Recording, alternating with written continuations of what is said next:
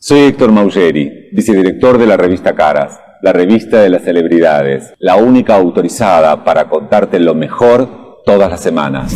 Exclusivo. Marcos Genocchio, el ganador de Gran Hermano y figura de Multitalent Agency, habla de su crecimiento profesional y afectivo. Soy romántico y poco competitivo. Ingresá al Mundo Caras y recorre con nosotros la red carpet.